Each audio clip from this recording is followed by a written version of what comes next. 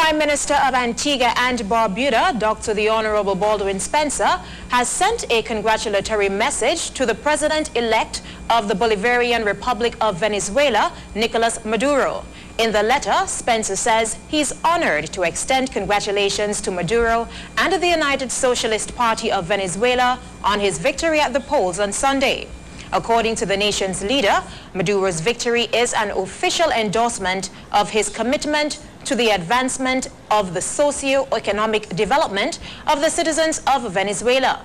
He adds that this success demonstrates that the people of Venezuela support Maduro's plan to build that country both domestically and within the wider hemisphere, namely with the Bolivarian Alliance for Peoples of Our America, ALBA.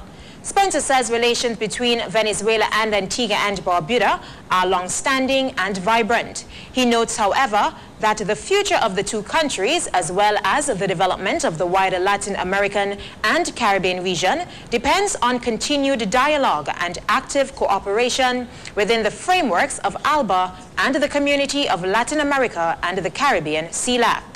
The Prime Minister reaffirms Antigua and Barbuda's support of the government of Venezuela. On Sunday, Venezuelans narrowly voted to continue Hugo Chavez's revolution, electing his hand-picked political heir, Nicolas Maduro, to serve the remainder of his six-year term as president.